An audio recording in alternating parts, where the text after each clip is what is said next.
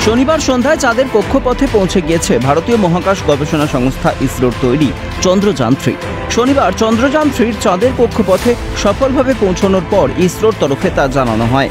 তবে মূল গন্তব্যে পৌঁছতে এখনও অনেকটা পথ পেরোনো বাকি। তবেই চাঁদের কাঙ্ক্ষিত মাটি স্পর্শ করবে ভারতের চন্দ্রযান থ্রি চাঁদের দক্ষিণ মেরুর কাছে অবতরণ করার কথা চন্দ্রযান থ্রি এই পুরো যাত্রাপথে পাঁচটি ধাপ অতিক্রম করতে হবে, জানালেন মহাকাশ বিজ্ঞানী সন্দীপ চক্রবর্তী। এখন আমরা নামছি কোথায়?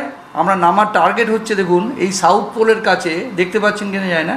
এখানে চন্দ্রযান টু সিএইচ টু আর সিএইচ থ্রি দুটো পয়েন্ট দেখা যাচ্ছে, একটা আরেকটা থেকে একশো কিলোমিটার দূরে। তো আমাদের ল্যান্ড করার কথা সিএইচ থ্রি অর্থাৎ সাউথ পোলের খুব কাছে, সেই জায়গাটাতে আমরা ল্যান্ড করার কথা। এখন যেটা হয়েছে, সেটা আমি একটু ধীরে ধীরে বলছি এই ল্যান্ড করার পথে আমাদের পাঁচখানা মতো লাইন স্টোন মানে মাইল স্টোন আমাদেরকে কিন্তু ক্রস করতে হচ্ছে। একটা হচ্ছে যে এটা যেমন সাকসেসফুল যে রকেটটা আমরা জানেন যে রকেটটা সাকসেসফুলি লঞ্চ করেছে। লঞ্চ করার পরে আমরা এই জাস্ট ওপরের অংশটুকুর মধ্যে আমাদের ওপরে আছে ল্যান্ডারটা, তার মধ্যে ছিল আপনার প্রপালশন মডিউল এই দুটো অংশ আমাদের পৃথিবী থেকে ইনজেক্ট করা হয়ে গেছে বাকি সব কিন্তু পৃথিবীতে সমুদ্রে পড়ে গেছে। এবার একদিকে যেমন গতি কমবে অন্যদিকে তেমন ধাপে ধাপে বৃহত্তর থেকে ক্ষুদ্রতর কক্ষপথে পৌঁছবে চন্দ্রযান থ্রি এই যে পয়লা আগস্টে আমরা পাঠিয়েছিলাম সেইটা চাঁদের পাশ দিয়ে যাওয়ার সময়তে এই যন্ত্রটা যেটা আমরা একটু আগে দেখালাম সেটা উল্টো দিকে মুখ করে যায় রেট্রো থ্রাস্টার দিয়ে তার ব্রেক চিপে ধরে। ব্রেক চেপার সঙ্গে সঙ্গে তার ভেলোসিটিটা কমতে শুরু করে। যদি জিরো ভেলোসিটি হয়ে যায় আমি উদাহরণ দিচ্ছি যদি আপনি ভেলোসিটি জিরো হয়ে যায়, তাহলে কিন্তু সে চাঁদের গায়ে গিয়ে আছড়ে পড়বে। সেই জন্য ভেলোসিটিটাকে জিরো করা যাবে না। অথচ ভেলোসিটিটা দুই আড়াই কিলোমিটার মধ্যে থাকতে হবে, তবে কেবলমাত্র পৃথিবীর চাঁদের গ্র্যাভিটি তাকে কক্ষপথের মধ্যে টানবে। কাজে এটা একটা খুব কমপ্লেক্স ম্যানুভার পরপর নানা ম্যানুভার করে চাঁদের অরবিটে কিন্তু ওটাকে আনতে হয়েছে।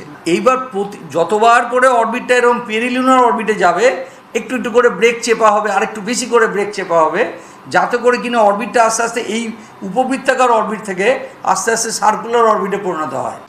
আগামী তেইশে আগস্ট এই দীর্ঘ পথ অতিক্রম করে ল্যান্ডার বিক্রমের অবতরণ করার কথা চন্দ্রপৃষ্ঠে। ফলে আপাতত দুই আড়াই কিলোমিটার করে যাচ্ছে আমাদের অবজেক্টটা দুটোই একসঙ্গে আছে। একসঙ্গে গিয়ে তারপর লাস্টে গিয়ে ছাড়াছাড়ি হবে।